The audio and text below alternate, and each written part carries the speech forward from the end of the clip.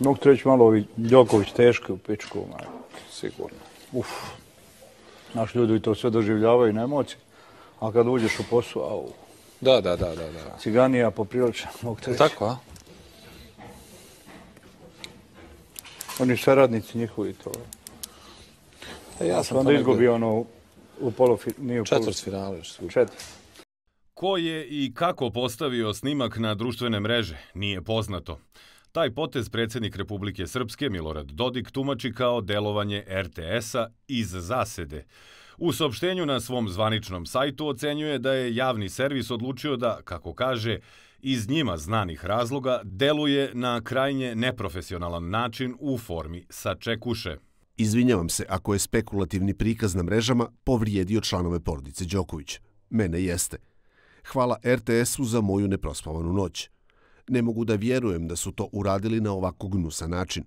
Kao iskreni poštovalac Novaka Đokovića i kao tenisera i kao čovjeka želim svu sreću njemu i njegovoj porodici. Srđanu i Đorđu uspjeh u svemu.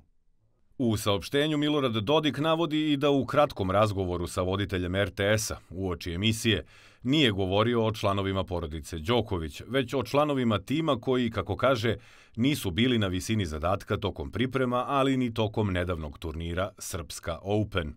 Poručuje i da će porodica Đoković u njemu uvek imati prijatelja i poštovaoca, a da je RTS izgubio nekoga koji je mislio da ima nade za profesionalizam u medijima.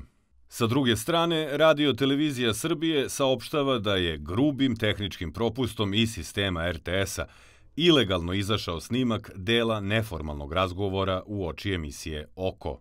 Pozivamo Odeljenje za visokotehnološki kriminal MUP Republike Srbije i Bezbednostno informativnu agenciju da utvrde na koji način je fragment neformalnog razgovora dospeo u javnost. Ceo signal je u celini propušten i radio televiziji Republike Srpske, zbog čega se nadamo i reakciji MUPA Republike Srpske. Radio Televizija Srbije najavljuje da će sprovesti i internu istragu i o tome obavestiti javnost.